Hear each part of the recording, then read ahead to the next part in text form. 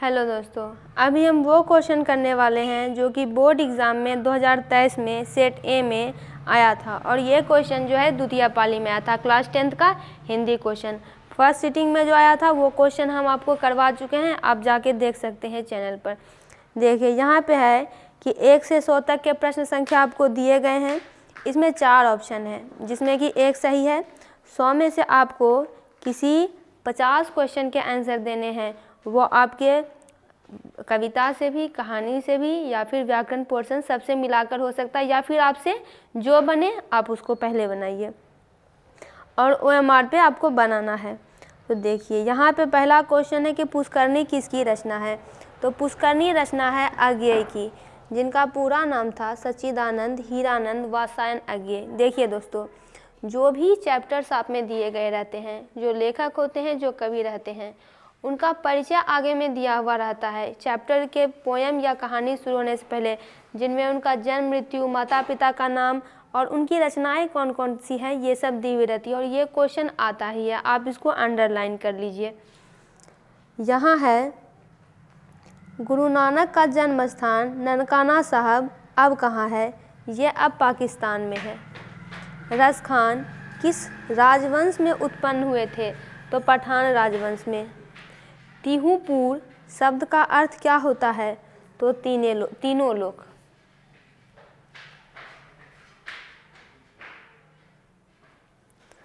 मनुष्य और सभ्यता के विनाश की अंतर व्यथा को अभिव्यक्त करने वाली कविता निम्न में से कौन है? तो एक वृक्ष की हत्या। निम्नलिखित में से नगर संवेदना के कवि कौन है? कुंवर नारायण। वीरेन डंगवाल का पहला कविता संग्रह कब प्रकाशित हुआ था सन उन्नीस सौ इक्यानवे में? फ़र्स्ट पोर्शन में जो रहते हैं, आप इसको ऐसे डिवाइड कीजिए कि इनका जो डेट ऑफ़ बर्थ है, उसको हम अलग कर लेते हैं, उनका डेट ऑफ़ डेथ है, उसको अलग कर सकते हैं माता पिता के नाम को अलग कर लेते हैं, इनकी रचनाओं को अलग कर लेते हैं, क्योंकि ये सब क्वेश्चन फिक्स है। अगर आप इतना करते हैं, आप अपने नंबर के लिए श्योर हो जाएँगे। अक्षर ज्ञान शीर्षक कविता कहाँ से ली गई है? तो कवि ने कहा से, नदियाँ, मैदान, बंगाल के बुलाएँगे, मैं आऊँगा। यह पंक्ति किस शीर्षक कविता की है? यानी कविता की पंक्ति भी एग्ज़ाम में पूछी जाती है। आपको कविता भी याद होनी चाहिए। लौट कर आऊँगा फिर। क्योंकि कवि जो है वो बंगाल के रहने वाले हैं, उनका जन्म इस बार बंगाल में हुआ है और वो सोच रहे हैं कि अगले जन्म मनुष्य न सही, कम से कम कुछ न कुछ बन के तो हंस, सारस, कौवा, धान के खेत, ऐसे बहुत सारे एग्ज़ाम्पल देते हैं कि वो बन के मैं ज़रूर यहाँ पे आऊँगा ही आऊँगा। ठठे विदेशी ठाठ सब, वन्यो देश विदेश। सपने हूँ जिनमें न कहूँ, भारतीयता लेस। यह पंक्ति किस शीर्षक कविता से है? तो स्वदेशी से। गुंजन, किस कवि की रचना है? सुमित्रानंदन पंत की। कवि सुमित्रानंदन पंत के अनुसार, कौन अपने घर में प्रवासिनी बनी हुई है? तो बनी हुई है भारत माता। उनकी कविता है भारत माता ग्रामवासिनी निम्न में से रामधारी सिंह दिनकर की रचना कौन है? तो हुंकार हुंकार।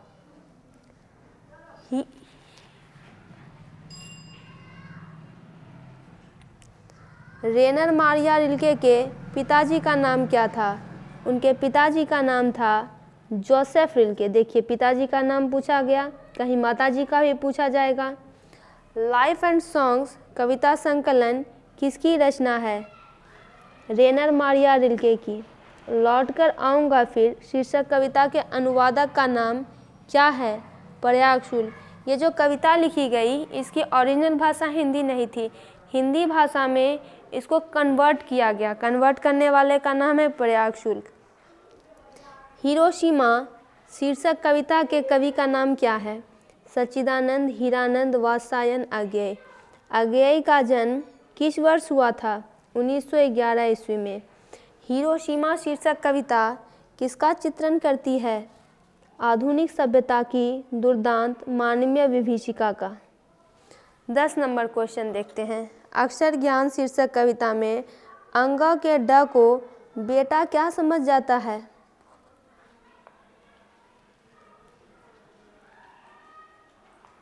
बेटा इसको माँ समझता है।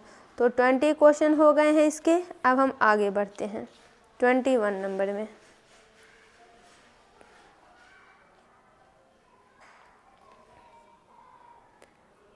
ट्वेंटी वन नंबर में यहाँ से व्याकरण का पोर्शन शुरू हो रहा है कि प्रभाव शब्द कौन सा लिंग है? ये है पुल्लिंग। आम्र शब्द क्या है? आम्र का मतलब क्या होता है? मैंगो यानी आम। ये आम्र शब्द तत्सम है। भगवान शब्द का स्त्रीलिंग रूप क्या होगा? भगवती। कारक के कितने भेद होते हैं? कारक के आठ भेद होते हैं। बहुत सिंपल है। श्याम कलम से लिखता है, किस कारण का, किस कारक का उदाहरण है। तो आप लोग जानते हैं, कर्ता ने कर्म को करण से जोड़ने का काम हो रहा है तो करण कारक। नदी शब्द का बहुवचन क्या होगा? नदियाँ होगा। अब इधर आते हैं। लेखक सुजाता का वास्तविक नाम क्या है? एस रंगराजन। कौन पापाती को अकेली छोड़कर नहीं जाना चाहती थी। ये कहानी से क्वेश्चन है वल्ली अम्माल। वल्ली अम्माल के गाँव का नाम क्या था? मुंडाडी पट्टी। धरती कब तक घूमेगी शीर्षक पा, पाठ में? सीता क्या देखकर रुआसी हो गई? रुआसी यानी कि रोने जैसा चेहरा बन गया। रो नहीं रही है लेकिन रोने जैसा चेहरा बन गया। तो अपना काला ओढ़ना देखकर धरती कब तक घूमेगी? शीर्षक पाठ में सीता के बड़े लड़के का नाम क्या था? Kailash.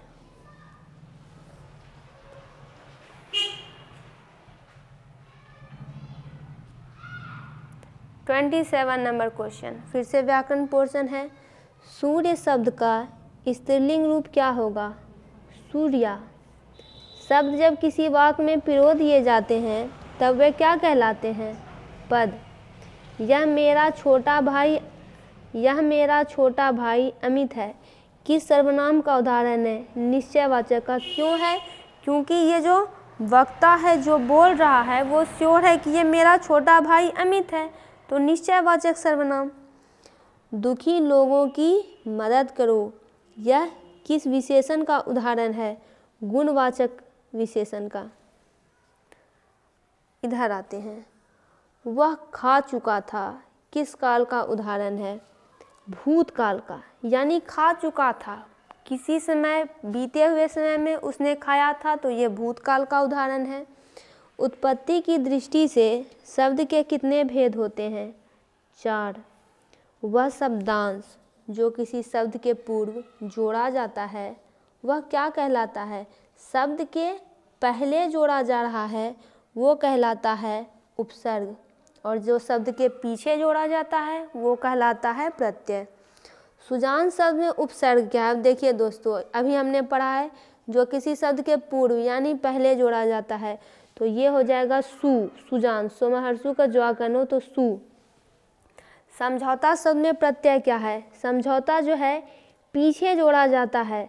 तो देखिए, औता, झौता, ये तो है नहीं, ता होगा नहीं, ता। तो यहाँ पे समझौता में अगर हम ध्यान से देखें तो यहाँ पे औता ही होगा, ता नहीं होगा, औता होगा। अपेक्षा शब्द का विशेषण क्या होता है? उपेक्षित। इधर आते हैं।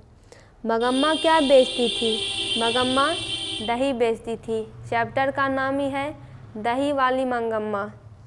यह बात अच्छी नहीं लगती कि माँ महीने भर इधर उधर लुढ़कती रहे। यह बात किसने कही?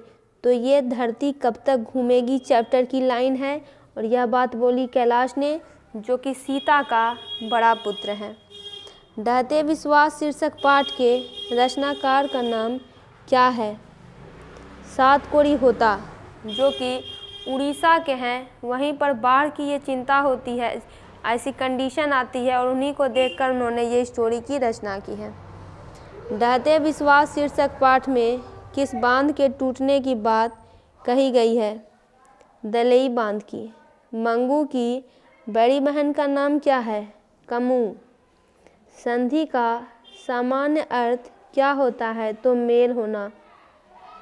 परमेश्वर, कौन सा समास है? कर्मधारय। शिव पार्वती कौन से समास है? द्वंद्व समास है। वाक्य के उस भाग को, जिनमें एक से अधिक पद परस्पर संबंध होकर अर्थ तो देते हैं, किंतु पूरा अर्थ नहीं देते हैं, वो क्या कहलाते हैं? पदबंध। फिफ्टी क्वेश्चन हमने कर लिया है, अब और आगे बढ़ते हैं। एटी क्वेश्चंस आपसे पूछे जाते हैं। हम सारे क्वेश्चन एक ही वीडियो में करेंगे ताकि आपको बार बार ढूंढना ना पड़े। देखिए, यहाँ पे हम आ गए हैं फिर से व्याकरण पोर्शन में। वाकिफ शब्द का अर्थ क्या है? वाकिफ शब्द का अर्थ क्या है? इसका अर्थ है परिचित परिचित होना। कितने वर्ष की उम्र में लिपजिंग विश्वविद्यालय में मैक्स मूलर ने संस्कृत का अध्ययन आरंभ कर दिया था? अठारह वर्ष की उम्र में। हक्स क्या थे? हक्स वनस्पति वैज्ञानिक थे। नृवंश विद्या का संबंध किससे है? मानव विज्ञान से ह्यूमन साइंस से। काम सूत्र के रचयिता कौन है? वासायन शिक्षक का अर्थ क्या होता है? शिक्षक इसका अर्थ होता है मोम। देखिए दोस्तों, ये जो मीनिंग पूछे जा रहे हैं वो आपके चैप्टर के जो चैप्टर है हिंदी के, उसके पीछे में वर्ड मीनिंग दिए हुए रहते हैं, शब्दार्थ दिए हुए रहते हैं, ये उसे से पूछे जा रहे हैं। जो जो हार्ड वर्ड है, इस तरह से ये क्वेश्चन पूछे जा रहे हैं। आप इसका अनुमान लगा सकते हैं। सिक्सटी सिक्स नंबर में आते हैं। आविन्यो क्या है? ईसाई मठ है। बहुवचन नामक पत्रिका का संपादन निम्न में से किसने किया था? अशोक वाजपेयी ने। उनके जो, उन्होंने जीवन में जो जो काम किए हैं, वो पूछा जा रहा है। और संपादन तो चाहे आप टेंथ में हो या ट्वेल्थ में हो, दोनों क्लास में पूछे जाते हैं। लेखक विनोद कुमार शुक्ल को शुल्क लिखा हुआ है। यहाँ पे शुक्ल होगा। को साहित्य अकादमी पुरस्कार किस वर्ष प्राप्त हुआ था? 1990 ईस्वी में। नौबत खाने में इबादत, शीर्षक पाठ, साहित्य की कौन विदा है?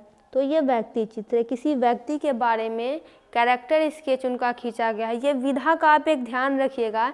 ये आप सब चैप्टर का कर लीजिएगा, हम तो करवाएँगे ही। पूछा जाता है, ये कवि, ये निबंध है, ऐसे है या फिर ये व्यक्ति चित्र है, एकांकी है, इस तरह से। कोई संस्कृति ज़िंदा नहीं रह सकती अगर वह दूसरों की संस्कृति का क्या करने की कोशिश करती है? ये तो चैप्टर के बीच से आपको पूछा जा रहा है। ये हो गया बहिष्कार। कोई संस्कृति ज़िंदा नहीं रह सकती अगर वो दूसरों की संस्कृति का बहिष्कार करती है, यानी उसको अस्वीकार करती है, उसको हानि पहुंचाती है, चोट पहुंचाती है। मराठी, नेपाली और नेवाड़ी भाषाओं की लिपि क्या है? देवनागरी। नागरी लिपि शीर्षक पाठ कहाँ से लिया गया है? भारतीय लिपियों की कहानी से। निर्मला कौन थी? निर्मला लेखक की पत्नी थी। सूखा पत्ता किस लेखक की रचना है? अमरकांत की। वर्णों के उच्चारण समूह को क्या कहते हैं? वर्णमाला। भा का उच्चारण स्थान क्या है? ओष्ठ। ल। कौन व्यंजन है? बहुत इजी इजी क्वेश्चन है। अंतस्थ व्यंजन। किसकी अंतिम ध्वनि स्वर होती है? मुक्ताक्षर की। महाशय शब्द का संधि विच्छेद क्या होता है? महा प्लस आशय।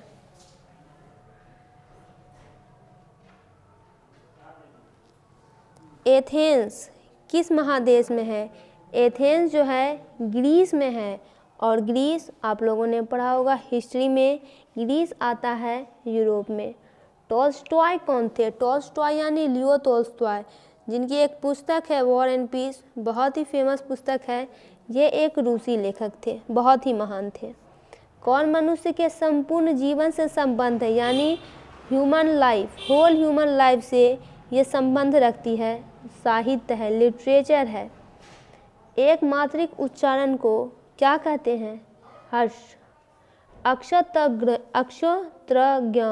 कौन सा व्यंजन है? संयुक्त व्यंजन है। निम्न में से शुद्ध कौन है? ये तो आपको पता लगाना पड़ेगा, देखिए। कवि इत्री, ये तो अशुद्ध है क्योंकि ये होगा क, व यो महर्षि का त्रदुर्गी का। ऊंचाई नहीं होगा क्योंकि ऊंचाई में यहाँ दुर्गुकार होगा। आगे बढ़ते हैं तो हम सी और डी को देखते हैं। तो अंतराक्षरी, ये गलत है, चार दीवारी, ये सही है। निम्नलिखित विराम चिन्हों में विस्मयाधिबोधक चिन्ह कौन है? यानी मार्क ऑफ़ एक्सलामेशन तो ये है आपका ए नंबर, जो ये दिया गया है। इधर आते हैं। बिरजू महाराज का साक्षात्कार किन्होंने लिया था? साक्षात्कार का मतलब होता है इंटरव्यू। रश्मि वाजपेयी ने, जो कि इनकी ही एक शिष्या थी। बिरजू महाराज का जन्म किस वर्ष हुआ था? 1938 ईस्वी में। जिन संज्ञाओं से एक ही प्रकार की वस्तुओं अथवा व्यक्तियों का बोध हो, एक ही प्रकार की वस्तुओं अथवा व्यक्तियों का बोध हो, उन्हें क्या कहते हैं? उन्हें कहते हैं जातिवाचक संज्ञा। अस्सी क्वेश्चन आपको बनाने होते हैं। एग्ज़ाम में आता सौ है। देखिए, हम आ गए हैं एटी वन नंबर क्वेश्चन पे। अब आप ध्यान से मिलाते जाइए कि आपकी तैयारी कितनी है। जिस वाक्य में एक क्रिया होती है और एक कर्ता होता है, उसे कौन सा वाक्य कहते हैं? उसे कहते हैं सरल वाक्य वाक्य के तीन भेद होते हैं, सरल वाक्य मिश्र वाक्य संयुक्त वाक्य निम्नलिखित में से शुद्ध वाक्य कौन है? देखिए यहाँ पे, शुद्ध वाक्य को पहचानते हैं।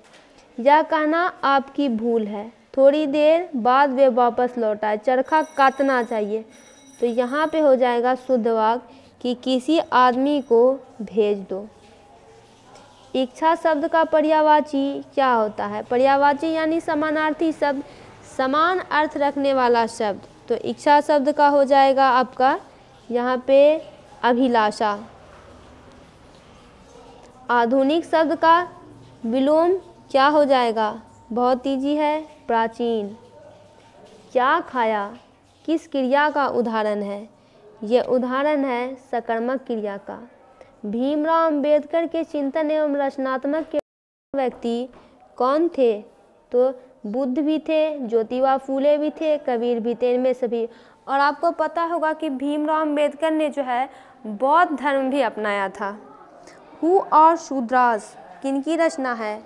भीमराव अंबेडकर की। लेखक नलिन विनोचल शर्मा की माता का नाम क्या था। देखिए, उस जगह पिता, उस उस जगह पिता का नाम पूछा गया था, इस जगह माता का पूछा गया। माता पिता का नाम पूछा ही रहता है। अगर भाई बहन भी दिया हो, मित्र दिया हो, उसका भी नाम पूछा जाता है। तो उनकी माता का नाम था रत्नावली शर्मा। सेन साहब की लड़कियाँ कैसी है? बड़ी ही सुशील है। बड़ी सुशील है। उनकी सारी बेटियाँ सिर्फ़ इकलौता बेटा है। जो कि बहुत ही बदमाश है और सबको बदमाश करते रहता है और इस कारण अंत में बहुत मार भी खाता है और अपने दांत भी तुड़वाता है। मदन किसका बेटा था? तो गिरधर का बेटा था। इधर आते हैं।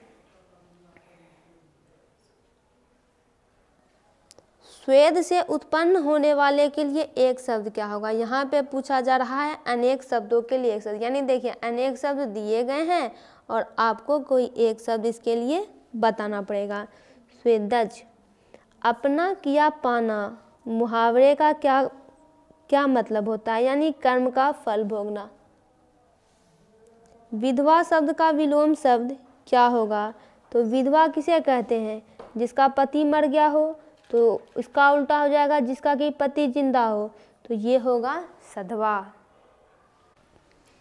रात शब्द का पर्यावाची शब्द क्या होगा? पर्यावाची यानी समानार्थी शब्द, समान अर्थ रखने वाले शब्द, रजनी। बिना अंकुश का के लिए एक शब्द कौन है? जिस पर कोई अंकुश नहीं लगा होता है, उसको कहते हैं निरंकुश। यह आपने हिस्ट्री में चैप्टर वन में पढ़ा होगा कि लुइस सोलह जो है, एक निरंकुश राजा था, क्योंकि उस पर किसी का अंकुश नहीं था, वहाँ पे राजतंत्र था। फूक फूक कर पैर रखना, मुहावरे का अर्थ क्या होता है? यानी सोच विचार कर काम करना। ऐसे नहीं कि हमने सीधे काम करने के लिए चलते बहुत अच्छे से सोचेंगे फूक फूक कर पैर रखेंगे, देखेंगे कि ये कदम सही है कि नहीं, हम सही करने जा रहे हैं कि नहीं, नुकसान क्या होगा, फ़ायदा क्या होगा। परिवार शब्द का विशेषण क्या होता है? पारिवारिक। क्रिया का मूल क्या होता है? धातु। शिवम आ रहा होगा, यह किस काल का उदाहरण है? शिवम आ रहा होगा। यह उदाहरण है वर्तमान काल का। जिसका कर्म हो या जिसके साथ कर्म की संभावना हो, उसको क्या कहते हैं? उसको कहते हैं सकर्मक क्रिया।